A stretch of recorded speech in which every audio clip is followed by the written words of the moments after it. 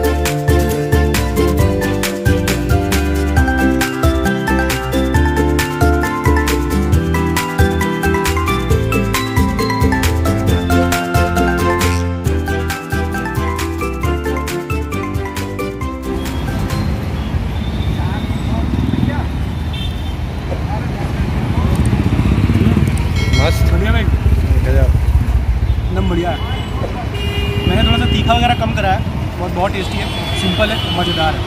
big thumbs इस गाय